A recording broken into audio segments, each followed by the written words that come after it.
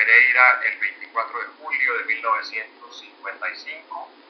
de profesión eh, economista originalmente y desde hace muchos años ejecutivo de la General Motors, actualmente presidente de la General Motors para América Latina. Bueno, yo estudié economía en Bogotá eh, durante cinco años y de ahí me fui a la London School of Economics en Inglaterra, hice estudios de máster eh, terminé mis estudios de máster en el año 1981. Ahí regresé a Colombia, trabajé en el gobierno colombiano, tanto en el Departamento Nacional de Planeación como en el Ministerio de Desarrollo en la época,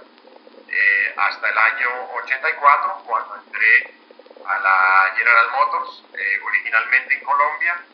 eh, y después de una carrera internacional en Yo creo que la formación académica es importante,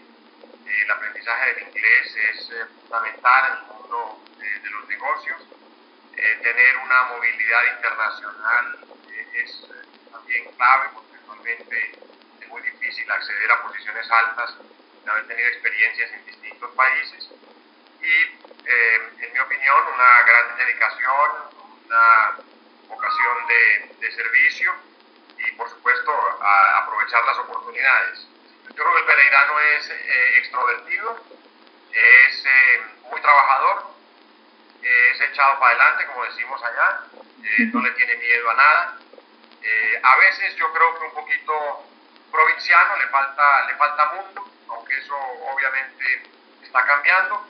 pero eh, con una gran capacidad empresarial, con una gran dedicación, trabajador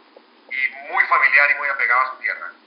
Bueno, todavía tengo una hermana viviendo en Pereira, tengo, tengo tíos, tengo primos, de manera que tengo mucho cariño.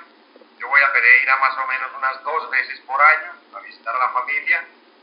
la ciudad ha crecido mucho, ya no es la misma en que yo, en que yo crecí, así que hay muchos lugares que ya ni conozco y mucha gente que, que no identifico. Eh, me parece fundamental trabajar en los aspectos de limpieza de la ciudad, en los temas de, infraestructura. El pereirano sigue siendo eh, muy eh, amigo de su ciudad, muy comprometido. lo que falta realmente es organización, no solo de parte de las autoridades, sino de parte de todas las entidades cívicas